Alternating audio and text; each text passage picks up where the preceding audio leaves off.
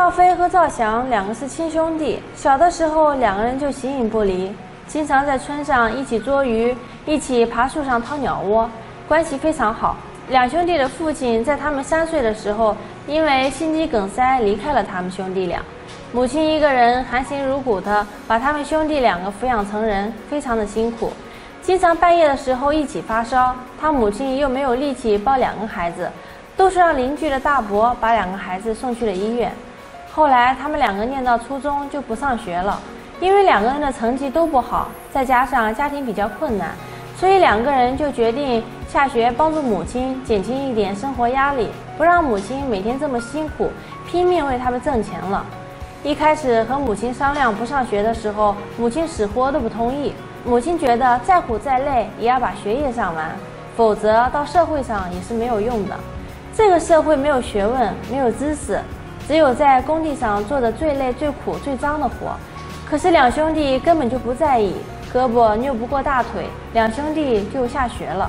下学后，两兄弟就跟着他们的一个远方表哥去外地找了一份垃圾站的工作，每天靠搬运垃圾、清理完垃圾为生。虽然那个活又脏又累，不受别人待见，可每个月的报酬很高，两兄弟也能存到钱，所以就一直干了下去。每个月也都会给母亲打钱。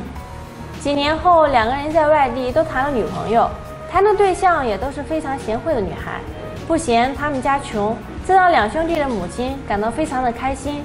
后来在那里工作了十年，两兄弟觉得人不能忘本，所以就带着女朋友回了老家，并且用自己的辛苦打拼赚的钱在老家盖起了一个房子。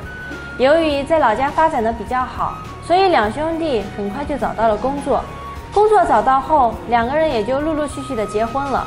婚后不久，赵飞就有了孩子，而赵翔一直没有。到医院检查才发现，原来生育能力的问题，需要很多钱治疗才能生孩子。可是眼下又刚结婚，根本没钱，所以这个事情耽误了。赵飞的孩子出生后没多久。赵飞就因为在一次工作上失误，被机器砸中了腹部，导致当场死亡。赵飞的死亡让一家人猝不及防，悲痛欲绝。赵飞的老婆也在家哭了将近一个月，才慢慢的走出来。日子就这样安稳的过着。一转眼，二十年过去了。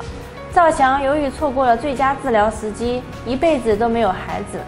赵翔又经常照顾大嫂，让他的老婆看着非常不开心，觉得两个人有一腿。这二十年经常吵架，最后导致两个人离婚了。离婚后，赵翔自己和大嫂居住，很不方便，于是打算出去租房子。大嫂拦住了他。这个勇敢的女人说：“你是我的丈夫的弟弟，也就是我的弟弟。房子有三间，你还住东屋，我还住西屋。我们不是夫妻，但我们是一家人。至于别人怎么说，随他说去。